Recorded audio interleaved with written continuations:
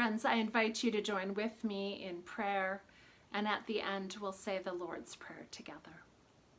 Let us pray. Holy God, we give you thanks for our safety, for our health, for our life, for the leadership of our country and province and communities, for all the people working to keep us safe, for those who are on the front lines, those in the medical field, those doing deliveries, those providing banking services and groceries and all the necessities that we need. We thank you for their sacrifice, for their offering of themselves, and we pray for their protection, that they may be rewarded for their goodness in taking care of us by being protected from illness and harm. We pray for those who are protesting against the restrictions put upon us, even though it may be difficult for us to understand their point of view. We pray for their confusion and pain. And we pray that we might come together as people and as communities and as a country to take whatever steps are necessary to protect each other, especially those who are most vulnerable. We pray for those who are struggling financially because they cannot go back to work. We pray for those who are fearful of illness. We pray for those who have lost loved ones or those who are at home worrying about loved ones in hospital that they cannot visit. Be with us in this difficult time. Help us to feel your presence. Help us to take all the actions we can to share love and connection with one another. We pray for those who are near and dear to us, for those in our community who have extra burdens to carry. We pray that your healing hand would be with Jack and Margaret, Pat and Susan, Evelyn and Deb, James and Violetta and Gina, Trish and Shelley, Lucy and Brenda and Marion, Toby and Kathleen, Jeannie and Marnie and Hugo. May all of these and ones not named be surrounded by good medical care. May they feel strengthened by you in their bodies and minds and spirits. We pray for those among us who are grieving the loss of loved ones. We remember especially the families and friends of Dawn and Ian, Sarah and Adam, Ev and Doug, and so many more. Help us in our grief to trust in your great love and to know that our loved ones are safe in your care and that we are still connected to them. Loving God, you can see into the secret places of our hearts and our minds.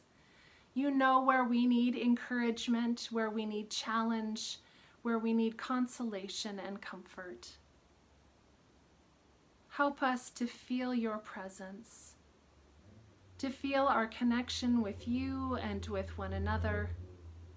Give us what we need, that we may approach each new day with anticipation, with patience, and with joy.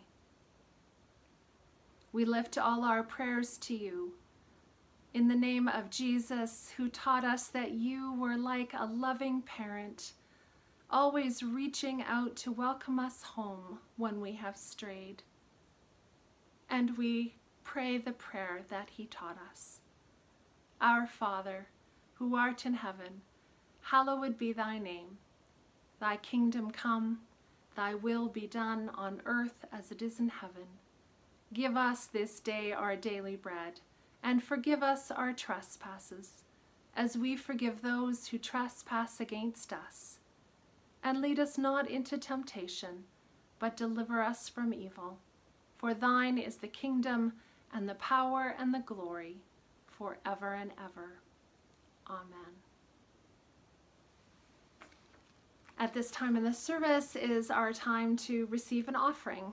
And so I just want to say thank you to those of you who have continued to make your offerings, whether it's financial or otherwise, contributing to the good of your church and your community.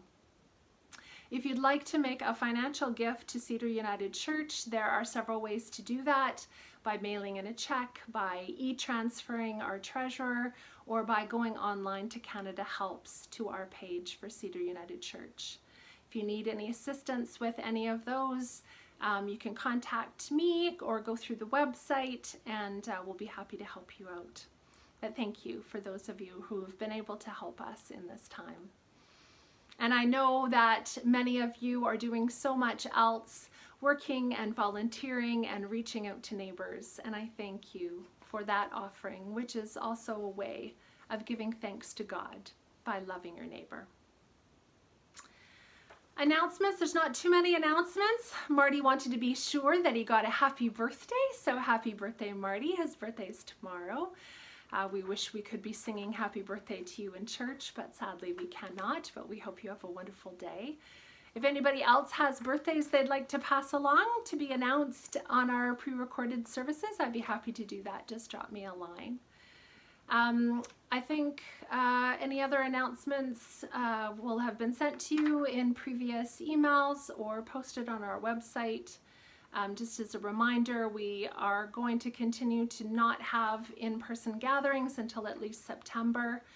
We uh, know that there's a movement towards opening churches, but the way to keep those um, gatherings safe includes a very, very long list and some of it may even not be able to be done in our small church because of not adequate space for keeping us all physically distant.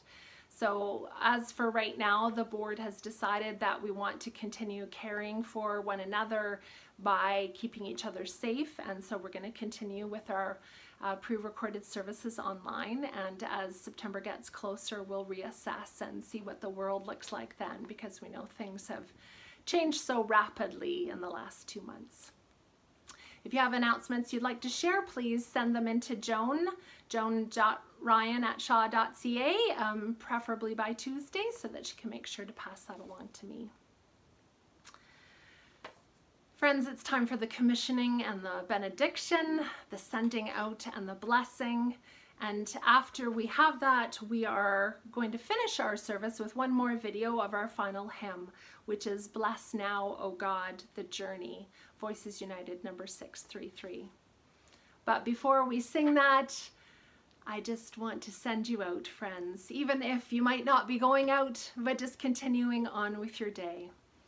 Friends, let us go from this place not always comfortable with getting lost, but knowing that even when we feel physically or spiritually or mentally lost, that we are never lost to God, that God knows exactly where we are and holds us and loves us.